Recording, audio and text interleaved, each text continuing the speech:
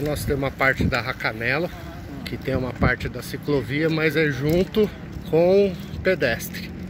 Então se torna uma convivência amigável, um ajudando o outro aqui. Essa parte aqui da, do começo da ciclovia da Racanelo aqui. Aqui nós temos uma, uma passagem da Racanelo, a Rodolfo Purpur, e todas as passagens da Racanelo é legal que tem semáforo. Dá para ter uma boa visualização nessas transposições de avenida aqui.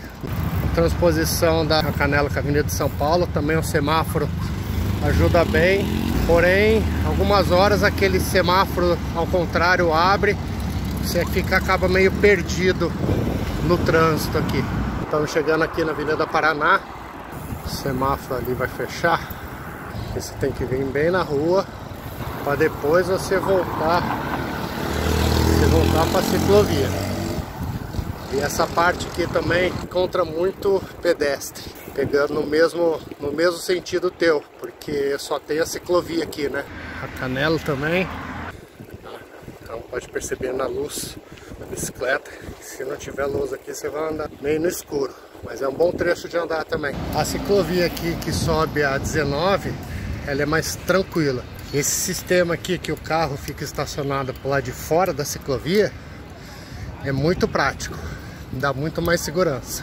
E aqui tem a calçada onde o pedestre vai caminhando ali sem atrapalhar o ciclista. Aqui é a parte da ciclovia da Praça Peladão, tem bastante irregularidades. Aqui a gente está começando a Avenida Brasil, aqui depois da Praça Peladão, e não é muito claro Tá? Tem os pontos onde os postes ajudam do outro lado, mas precisava de uma iluminação central aqui, ó. Tem as transposições, não tem semáforo, mas tem placa. Isso é próprio, já aconteceu comigo de nem todo mundo respeitar a placa e virar aqui, mesmo na contramão. Mas aqui tem um piso bem legal. Aqui nós estamos chegando na, na Brasil, aqui no final da Praça da Servopa. Tem uma rotatória aqui também. Aqui é complicado, porque aqui não tem, tem semáforo, não tem nada que dê uma vantagem para o ciclista, né? Ó, Avenida Rocha Pombo. Avenida Rocha Pombo é bem legal. É parte da ciclovia, tem água. E aí a gente vai pegar agora a Avenida Brasil. A parte ruim da Avenida Brasil.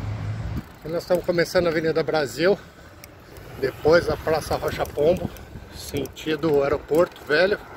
O piso, digamos assim, ele é médio, de médio para bom. Só que percebam, é muito escuro.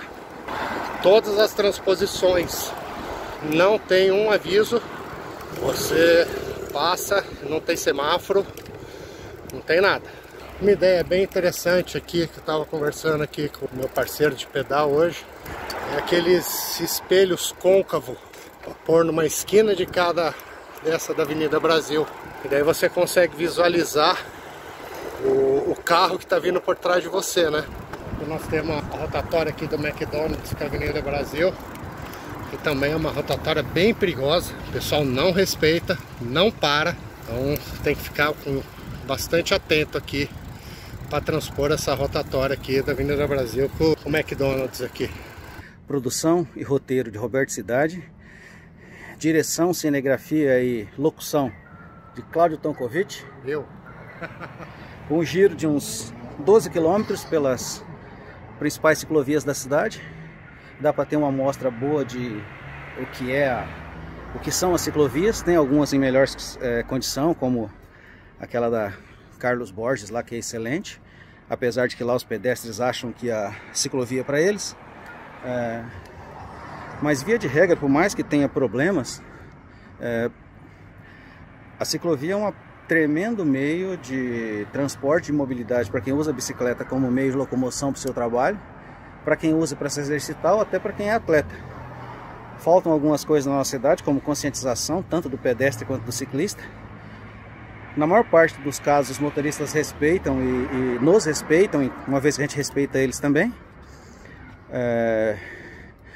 Mas é, quem implantou as ciclovias tinha que atualizar um pouco o modelo de utilização, se preocupando com os cruzamentos, com os declives das calçadas, com várias ruas onde as ciclovias são boas, mas depois de uma certa hora a luminosidade tira toda a segurança, porque fica escuro, não tem uma viatura, nada para dar um suporte. E faltam também, como parece que tem um vídeo que mostrou ali numa das praças, a água, tá, uma estrutura legal para fazer um pit stop. Isso também falta em outros lugares.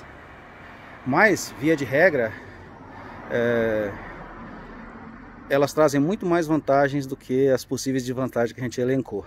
É que como a gente é usuário constante, a gente acaba se concentrando só na, naquilo que nos falta. Quando na verdade elas nos oferecem uma possibilidade muito grande de mobilidade, de saúde e de interação social. Até porque vocês não, não viram a gravação, mas a gente riu pra caramba. Tanto que nesse pequeno trajeto de 12 quilômetros aí, o Cláudio foi atropelado por outra bicicleta, quase caiu. Eu quase atropelei um senhor que achou que tinha que de roupa preta no meio da ciclovia que não estava pintada, achava que tinha que ficar esperando o semáforo ali, enfim. É sempre uma aventura. Espero ter ajudado, aliás, a gente espera ter ajudado. Tchau.